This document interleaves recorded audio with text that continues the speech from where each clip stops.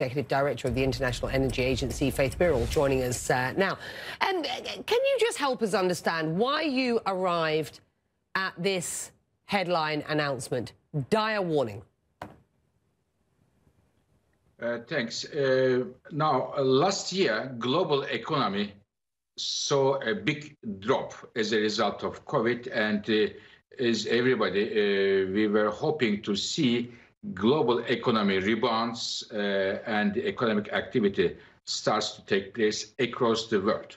The question was whether or not this economic rebound is going to bring uh, emissions upwards or downwards. As you just said, many governments, such as the US government, UK government, uh, uh, Europeans, uh, China, Japan said, climate change is serious and we are having serious climate targets. Now, when we look at the numbers, as we always do at the International Energy Agency, there is a widening gap between those pledges, government statements, and what is happening in the real life.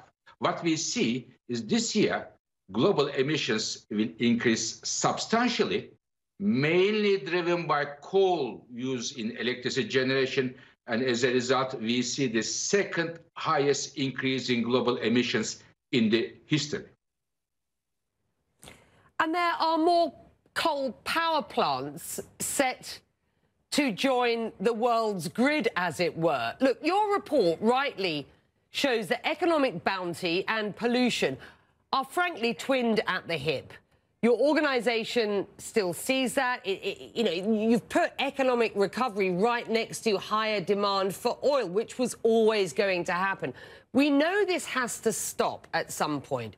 How do you propose that that decoupling so first of all, is made? Yeah.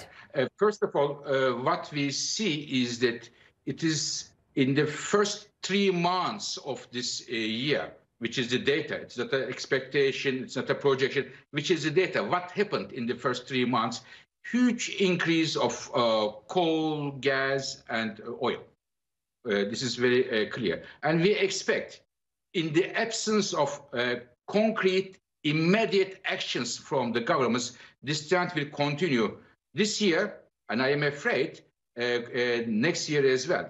Therefore, the targets set by the governments to reach net zero emissions to avoid the catastrophic climate change will be much, much more difficult uh, to reach. So therefore, governments need to come not only with these targets, what happens in 2050, 2030, but immediate credible actions in energy policies. How are they going to change their energy policies in order to reduce the emissions, in order to reduce the use of coal and the others, and how are they going to finance those measures in the energy sector? We need credible that, declarations, yeah. announcement from uh, governments, what kind of energy policies they are going to put in place, and how those policies will be financed. So we are um, promised that sort of information from the meeting that Joe Biden is holding at the White House this week in anticipation of what is uh, COP26 in Glasgow towards the end of the year.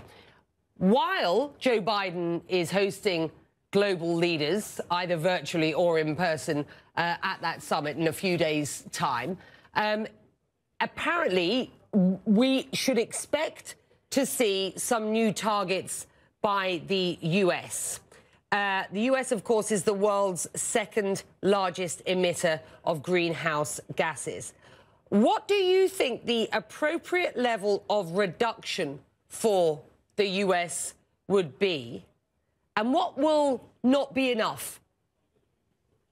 So, uh, first of all, uh, I commend President Biden for organizing this uh, meeting, bring the world leaders uh, together to address one of the most important questions of the day within his uh, 100 days of being in the office, number one. Number two, what I would expect from the leaders, including United States, not only setting targets, and I hope they will be ambitious targets, but to tell us, to tell the world how they are going to reach those targets. What are the legs to reach those targets? I will be also uh, joining to the uh, Leaders Summit, and I will uh, invite all the uh, world leaders to come up with the credible energy policies uh, to reach those targets. When it comes to United States, I expect that the United States will come up with an ambitious uh, reduction of the, their emissions. But as important as that, if not more important, how the United States government believes they are going to reach those targets, what kind of energy policies? More wind, more Okay, solar, more. Electric cars, that. more hydrogen. I need them. Yeah.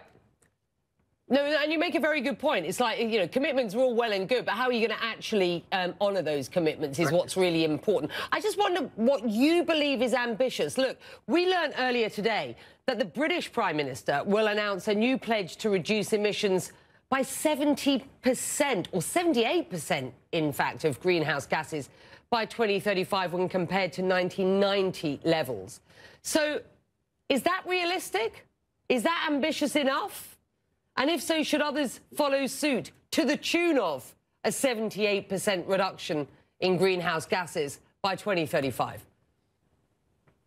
I think it is up to the U.S. president to announce the U.S. Uh, ambitious and uh, goals there. But I expect a serious, radical uh, uh, reduction in the emissions, and I am sure it will come true. Uh, once again, uh, those radical emissions are good, but what is better is to know how much money will be poured in the right energy policies to reach those uh, emissions. I read in the papers that the US may be coming with a, about 50% or so uh, emission reductions. If it is the case, or around those numbers, I think it, I would uh, welcome uh, that move.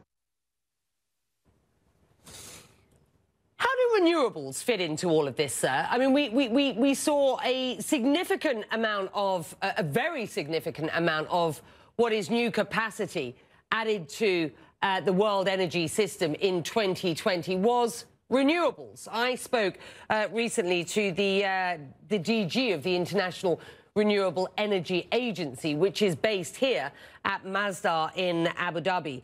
Um, he recently released a report uh, that said that clean energy investments need to increase by 30% to a total of 131 trillion dollars for climate goals to be achieved by 2050.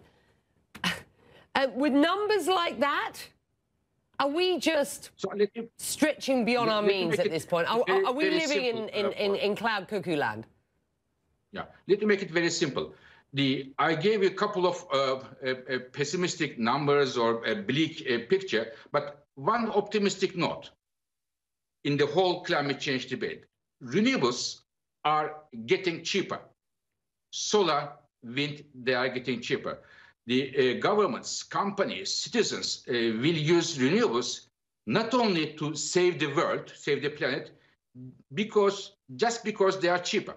This is very good news. And in our report came today, we say that the renewables are breaking records one after another. But the question is, the issue is, renewables growth alone, it is not enough to change the major trends.